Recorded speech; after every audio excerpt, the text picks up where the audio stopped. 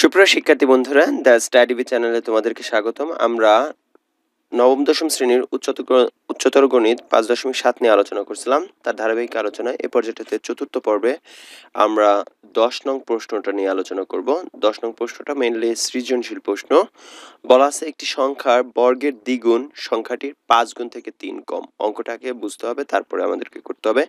কিন্তু ওই সংখ্যাটির বর্গের তিন গুণ সংখ্যাটির পাঁচ গুণ থেকে তিন বেশি। তো আমাদেরকে ক নং প্রশ্নটাতে বলছে যে, উদ্দীপকের তথ্যগুলোর সাহায্যে সমীকরণ গঠন করো। সো আমরা ক নং প্রশ্নটাকে আগে সমাধান করব, তারপরে খতে চলে যাব।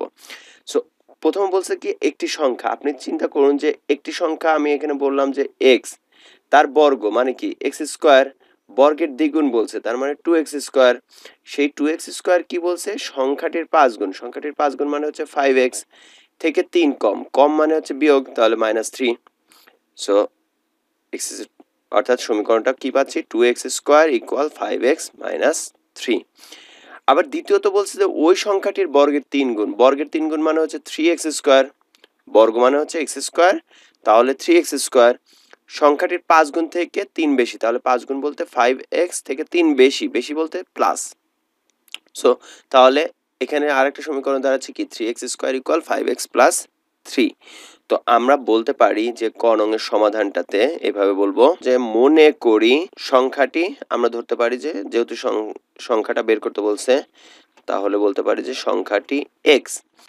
তো প্রথম শর্ত অনুসারে আমরা কি বলব যে টু এক্স স্কোয়ার ইকুয়াল আমরা পাচ্ছি ফাইভ এক্স মাইনাস থ্রি তাই তো? বা এখানে আমরা একটু কাজ করে নিই, কেননা পরবর্তী অঙ্কের জন্য আমাদেরকে দরকার হবে ফাইভ এক্স মাইনাস থ্রিটাকে বাম পাশে নিয়ে আসব। তাহলে টু এক্স স্কোয়ার এখানে আসবে হচ্ছে মাইনাসের ফাইভ এক্স যেহেতু প্লাসের ফাইভ এক্স ছিল, তাহলে মাইনাসের ফাইভ এক্স মাইনাসের থ্রি ছিল, তাহলে সেটা প্লাসের থ্রি ইকুয়াল জিরো এটা আমাদের, আমরা বলতে পারি যে এক নং সমীকরণ। ঠিক একইভাবে আবার দেওয়া আছে থ্রি এক্স স্কোয়ার ইকুয়াল আছে ফাইভ এক্স প্লাস থ্রি বা আমরা এখান থেকে কি বলতে পারি যে ফাইভ এক্স প্লাস থ্রিটাকে বাম পাশে নিয়ে আসলে থ্রি এক্স স্কোয়ার মাইনাসের ফাইভ এক্স মাইনাসের থ্রি ইকুয়াল জিরো তাহলে এটা আমরা বলতে পারি যে দুই নং সমীকরণ, তাই তো? সো এই দুইটা সমীকরণ থেকে আমাদেরকে বাকি অংশটুকু সম- অর্থাৎ বাকি অঙ্কটা করতে হবে। সো এই পর্যন্ত যদি তোলা হয়, তাহলে সেক্ষেত্রে আমরা মুছে দিয়ে পরের অংশটুকুতে চলে যাব। তাহলে আমাদেরকে খ নং প্রশ্নটাতে কি বলছে? খ নং প্রশ্নটাতে বলছে, সূত্র প্রয়োগ করে প্রথম সমীকরণটি সমাধান করো। তো, আমাদের প্রথম সমীকরণটা এটা আমরা একটু রেখে দিছি, পুরোটা মুছিনি, কারণ আমাদের খ নং প্রশ্নের জন্য দরকার হবে। তো আমরা খ নংয়ে বলব যে, খ নংটাতে বলতে পারি যে এক নং সমীকরণ হতে পাই two x square minus five x plus three equal zero এটাই তো? তাহলে এটাকে আমরা বলব যে a x square plus b x plus c equal zero এর সাথে তুলনা করে পাই। এটার সাথে যদি তুলনা করি তাহলে সেই তুলনা করে পাই। কেন তুলনা করতেছি? দেখুন, আমাদেরকে বলছে যে তথ্যগুলোর সাহায্যে সমীকরণ গঠন করো, সূত্র প্রয়োগ করে। তাহলে এইটা যখন আমরা জানি যে a x square plus b x plus c equal zero এটা আমরা পাঁচ পয়েন্ট এক থেকে দেখছিলাম, তাহলে সেক্ষেত্রে এক্স নির্ণয় সূত্রটা কি? Minus b plus minus root over b square minus four a c divide by two a so এটা হচ্ছে মেইনলি সূত্র। তো এই জন্য আমরা এ বি সি এ বের করে নেব। তাহলে তুলনা করে পাই এ এর মানটা কত হবে? এক্স স্কোয়ার সামনে আছে টু তাহলে এ হবে টু বি এর মানটা কি হবে? বি এর মানটা এক্সের সামনে যেটা আছে, সেটা হচ্ছে বি এর মান। সেটা হচ্ছে মাইনাসের ফাইভ এবং সি এর মান হচ্ছে প্লাসের থ্রি তো তাহলে এই তিনটা জিনিস আমরা পেলাম তো আমরা বলব যে অতএব x equal minus b plus minus root over b square minus four a c divide by two a অতএব বা এখানে ব- বলতে পারি যে এক্স ইকুয়াল মাইনাস বি বলতে মাইনাস অফ মাইনাস ফাইভ তাই তো? Plus minus root over b square বলতে মাইনাস ফাইভ তার উপর square minus four into a বলতে টু সি বলতে three divide by two a আছে, তাহলে টু এ বলতে টু সো এখানে দেখুন মাইনাসে মাইনাসে প্লাস প্লাসের five plus minus root over ফাইভকে square করলে টোয়েন্টি ফাইভ বা পঁচিশ, চার দুগুণে আট, তিন আটা চব্বিশ, তাহলে পঁচিশ মাইনাসের এখানে চব্বিশ ডিভাইড বাই ফোর দুই দুগুণে চার। সো আমরা এখান থেকে কি পাচ্ছি? Five plus minus one divide by four আমরা বলছিলাম যে এখানে যেহেতু রুট ওভার ওয়ান হয়, অনেকে বলে যে রুট ওভার ওয়ান তাহলে প্লাস মাইনাস ওয়ান কেন দিলাম না? তাহলে প্লাস মাইনাস ওয়ান তার সামনে দেখুন আবার প্লাস মাইনাস ওয়ান আছে। সো প্লাস মাইনাস এবং প্লাস মাইনাসটা একসাথে আবার প্লাস মাইনাসই হয়। ঠিক আছে? কেননা প্লাস প্লাস গুণন করে যেহেতু প্লাস বলতে পারতেছেন মাইনাস মাইনাস গুণন করে প্লাস বলতে পারতেছেন বাট যখন ক্রস গুণন করতেছে যে প্লাসের সাথে মাইনাস এবং মাইনাসের সাথে প্লাস তখন তো সেটা মাইনাস হয়ে যাচ্ছে। সো অ্যাকচুয়ালি প্লাস মাইনাস এবং প্লাস মাইনাসটা গুণন করলে কিন্তু প্লাস মাইনাস হবে। তো আমরা এখান থেকে কি বলতে পারি? এখান থেকে বলতে পারি যে যদি যদি প্লাস হয়, যদি প্লাস হয়, তাহলে x equal five plus one divide by four বা আমরা বলতে পারি যে ফাইভ এবং ওয়ান যোগ করলে সিক্স ডিভাইড বাই ফোর বা সিক্স ডিভাইড বাই ফোর মানে টু দ্বারা কাটলে উপরে থ্রি নিচে two so three divide by two আবার আমরা বলব যে যদি মাইনাস হয়, তবে কি হবে? X equal five minus one divide by four তাহলে ফাইভ থেকে ওয়ান বিয়োগ করলে four divide by four equal one so আমরা বলতে পারি কি যে অতএব নির্ণেয় সমাধান বা যে সমাধানটা আছে সেটা হচ্ছে নির্ণেয় সমাধান হবে three by two and one এই দুইটাই হচ্ছে এই প্রশ্নটার জন্য উত্তর। হোপফুলি বুঝতে কোনো অসুবিধা থাকার কথা না। এরপরে যদি কোনো ধরনের কনফিউশন থেকে থাকে, তাহলে আমাদের কমেন্টস বক্স আছে। আপনারা কমেন্টস বক্সে কমেন্টস করে জানাতে পারেন। আমরা চলে যাব গণং প্রশ্নটাতে। গণং প্রশ্নটার জন্য আমার দ্বিতীয় সমীকরণটা দরকার হবে। তো আমাদের দশের গণং প্রশ্নটাতে বলছে, দ্বিতীয় সমীকরণটি লেখচিত্রের সাহায্যে সমাধান করো। আমাদের দ্বিতীয় সমীকরণটা আপনাদের মনে আছে কিনা, এই সাইডে আমি বলি বের করছিলাম three x square minus five x minus three equal zero এই সমীকরণটা পাইছিলাম, তাই তো? সো এইখানে যেহেতু মিডল টার্ম করা যাচ্ছে না সো আমরা কিছু কাজ করতে পারি। কি কাজটা করব? যে এইটাকে সরাসরি অঙ্কে যখন করতে চাই, তখন আমরা ক্যালকুলেটার ইউজটা করব একবার। কেননা এখান থেকে এক্সের মানটা কত সেটা আমাদেরকে ফাইন্ড আউট করে নিতে হবে। যেহেতু এক্সের মানটা ফাইন্ড আউট করে নিতে হবে, যে কোন ক্যাটাগরিতে কত মধ্যে পড়লে পারে, তাহলে আমরা সেই ছক আকারে এক্সের মান কত নেব এবং ওয়াই এর মানটা কোন পজিশনটাতে আসবে, সেটা ফাইন্ড আউট করার জন্য আমরা একটু, এটাই ক্যালকুলেটার একটু করে নিলে পারে বেটার হয়। Let's start calculator use. তো আমরা ক্যালকুলেটার ইউজে এই জিনিসটাকে দেখে নেব যে এটার মানটা আসলে কত আসে। সো ইকুয়েশনে যাব। মোডের ফাইভে আছে ইকুয়েশন সো এখানে থ্রিতে আছে হচ্ছে এই ধরনের সংখ্যাটা।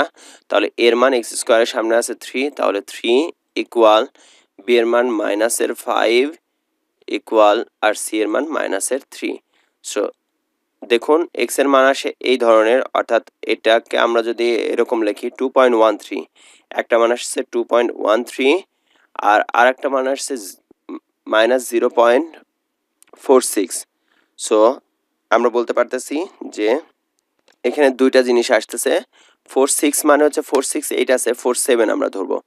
সো তাহলে সমীকরণটা সমাধান করার ক্ষেত্রে আমরা এই জিনিসটাকে মাথায় রাখব আমাদের রেজাল্টটা কেমন আসছিল? Minus zero point four seven একটা আর আরেকটা হচ্ছে টু পয়েন্ট ওয়ান থ্রি প্লাসের সো এই দুইটা, তার মানে এই দুইটার আশেপাশে মানগুলো আমাদেরকে নিতে হবে। অর্থাৎ মাইনাস ওয়ানও নিতে হবে এবং প্লাস টু থ্রি দুইটাই নিতে হবে। সো আমরা বলতে পারি যে মনে করি, কি মনে করব? মনে করব যে ওয়াই ইকুয়াল এটা যে রাশিটা দেওয়া আছে সেটার মান হচ্ছে y three x square minus five x minus three এটা। সো আমরা এখন বলব যে এক্সের বিভিন্ন মানের জন্য, অর্থাৎ সমকরণটির সমীকরণটির লেখচিত্র অঙ্কনের জন্য এক্সের কয়েকটি মান বা বিভিন্ন মানের জন্য ওয়াই এর মান নির্ণয় করি।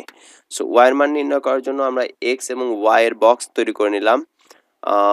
আমরা জানি যে মাঝখানে জিরো দেব। সো মাঝখানে জিরো জিরো যদি দিই, তাহলে দেখুন three into zero square minus five into zero মাইনাসের থ্রি তাহলে এই দুইটা তো টোটালি জিরো আসছে তার মানে মাইনাসের থ্রি হচ্ছে। সো জিরোর জন্য মাইনাসের থ্রি ঠিক একইভাবে যদি আমি প্লাসের ওয়ান দিই, তাহলে কি আসতো? Three into one square minus five into one মাইনাসের থ্রি সো তিন অক্ষে তিন মাইনাস পাঁচ মাইনাসের থ্রি তার মানে পাঁচ তিনে আট, অর্থাৎ থ্রি থ্রি বাদ মাইনাসের ফাইভ সো ওয়ান দিলে মাইনাসের ফাইভ আমি যদি টু দিই, তাহলে কেমন আসে? Three into two square minus five into two মাইনাসের থ্রি সো এখান থেকে আমরা বলতে পারি যে থ্রি ইন্টু টু স্কোয়ার মানে হচ্ছে ফোর তিন চারে বারো। মাইনাস পাঁচ দুগুণে দশ মাইনাসের তিন। মাইনাসের তেরো থেকে যদি বারো বিয়োগ করি, তাহলে মাইনাসের ওয়ান থাকে। তার মানে টু দিলে আসে মাইনাসের ওয়ান একইভাবে আমরা মাইনাস যদি ওয়ান দিই, তাহলে সেক্ষেত্রে আসবে কি?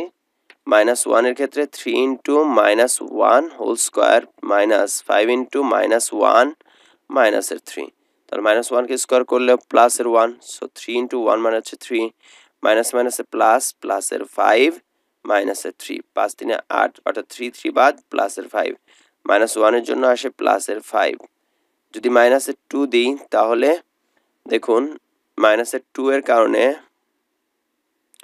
তাহলে রেজাল্টটা কেমন আসে? থ্রি ইন্টু মাইনাসের two square minus five into মাইনাসের টু মাইনাসের থ্রি তাহলে এটাকে টুকে স্কোয়ার করলে ফোর সো তিন চারে বারো একবার আমরা লিখতে পারি। মাইনাস মাইনাসে প্লাস প্লাসের পাঁচ দুগুণে দশ মাইনাসের থ্রি তাহলে বারো আর দশে বাইশ বাইশ থেকে যদি আমি তিন বিয়োগ করি তাহলে সেক্ষেত্রে আসতেছে উনিশ। হিউজ নাম্বার হয়ে যাচ্ছে, অনেক বড় হয়ে যাচ্ছে। সো এই এত বেশি ঘর পর্যন্ত নেওয়াটা কোয়াইট ইম্পসিবল সো আমরা এটাকে বাদ দিয়ে দিচ্ছি। মাইনাস টু এবং নাইনটিনটা নিচ্ছি না। তার পরিবর্তে যেহেতু টু পয়েন্ট ওয়ান থ্রি আছে সো এটার জন্য আমরা টু পয়েন্ট ওয়ান থ্রি না নিয়ে আমরা আরেকটা ঘর বাড়িয়ে থ্রি নিতে পারি। কেননা তিন ঘর পর্যন্ত নিলে টু পয়েন্ট ওয়ান থ্রির বেশি হয়ে যাবে। তার মানে থ্রি যদি নিই, তাহলে সেক্ষেত্রে কি আসতো? Three into three square minus five into three মাইনাসের থ্রি তাহলে তিন ত্রিকে নয়, তিন নং সাতাশ মাইনাস তিন পাঁচা পনেরো মাইনাস তিন। তাহলে পনেরো থেকে এবং তিনে আঠারো আঠারো যদি আমি সাতাশ থেকে বিয়োগ করি, তাহলে আসে নয়। সো থ্রি নিলে আসতো নাইন তো এই পর্যন্ত অংশটা আমরা বুঝতে পারতেছি। একটা বিষয় বলে রাখি যে, আমি কিন্তু ইচ্ছা করলে এই অঙ্কগুলোকে আগে খাতায় করে তারপরে আপনাদের সামনে উপস্থাপন করতে পারতাম।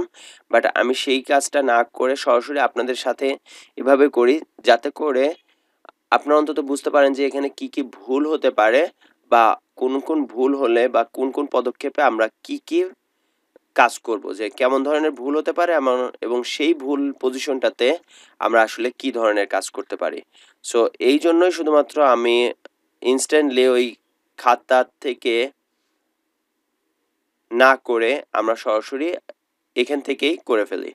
সো হোপফুলি এই জিনিসগুলো আপনাদের বুঝতে কোনো অসুবিধা হবে না। সো এই মানগুলো কিন্তু আমরা খুব সহজে বের করতে পারতাম ক্যালকুলেটারের মাধ্যমে। সো আমরা ওই এটা দেখে নেব যে ক্যালকুলেটারে খুবই সহজে কীভাবে আমরা মানটা বের করে নিতে পারতাম। দেখুন, এটা আমাদের ক্যালকুলেটার। সো আমরা প্রথমত আগের যে মোডটা আছে, সেখান থেকে যদি আমি ক্লিয়ার করতে চাই, তাহলে নিয়ম হচ্ছে যে কোনো সময় ক্যালকুলেটার ক্লিনের নিয়ম হচ্ছে শিফট নাইন থ্রি ইকুয়াল দিলে সব ক্লিন হয়ে যায়। আচ্ছা সো আমাদের রাশি ছিল y equal three x square minus five x minus three আমরা শুধুমাত্র এই অংশটুকু নেব।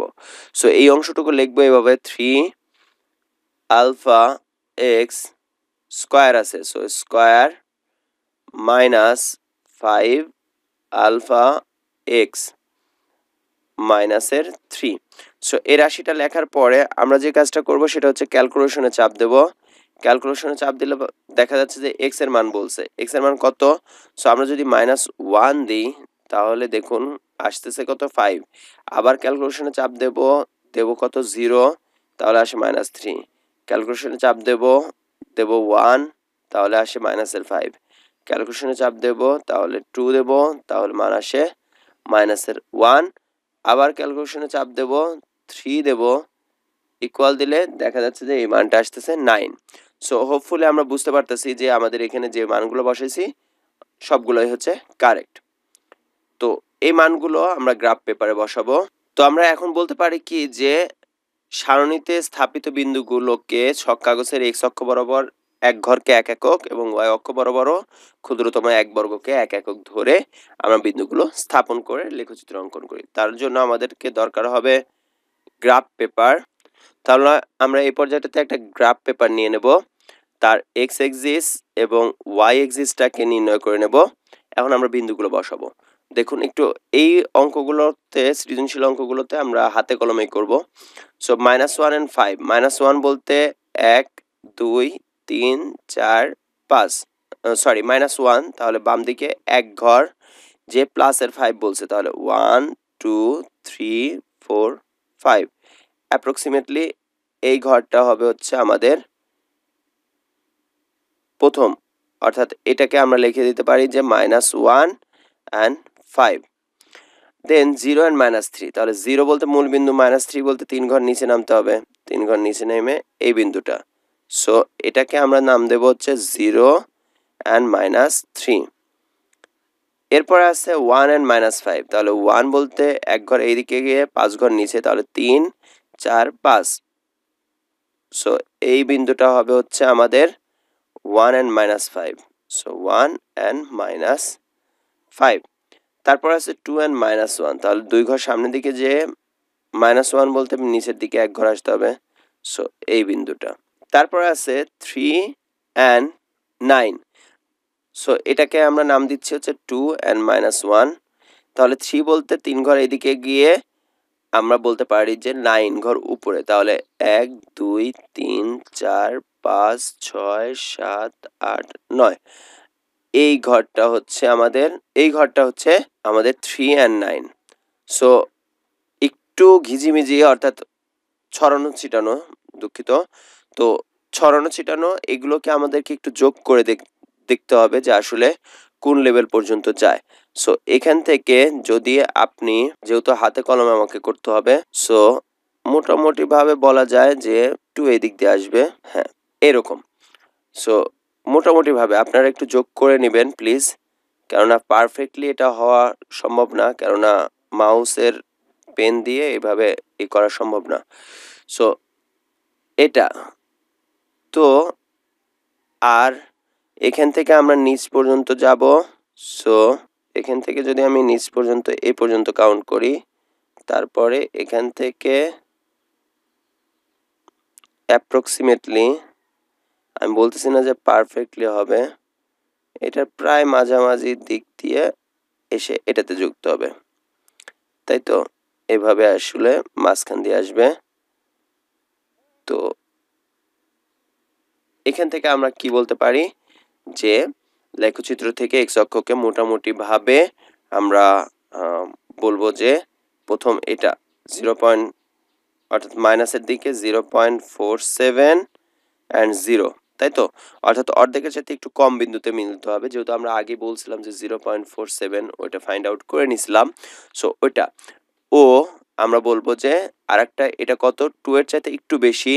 যার কারণে আমরা বলব যে টু পয়েন্ট ওয়ান থ্রি যেটা আমরা ফাইন্ড আউট করে নিয়েছিলাম জিরো বিন্দুতে ছেদ করেছে। অতএব আমরা বলব যে সমীকরণটির সমাধান হবে এক্স ইকুয়াল এক্স ইকুয়াল একটা মান আসছে টু এবং আর একটা মান মাইনাসের zero point four seven so এই দুটাই উত্তর। Two and zero sorry two point one three আসছে টু পয়েন্ট ওয়ান থ্রি আর minus zero point four seven. আমরা বলতে পারি যে x equal two point one three and minus zero point four seven. এই দুটোই হচ্ছে অ্যান্সার। সো, একটু কঠিন করে বোঝানো হলো হয়তো, আমি জানি না, আমি কতটুকু বুঝাতে পারছি। এরপর যদি কোনো ধরনের কনফিউশন থেকে থাকে, তাহলে অবশ্যই কমেন্টস বক্সে কমেন্টস করে জানাতে পারেন। ধন্যবাদ সবাইকে। আসসালামু আলাইকুম রহমতুল্লাহ।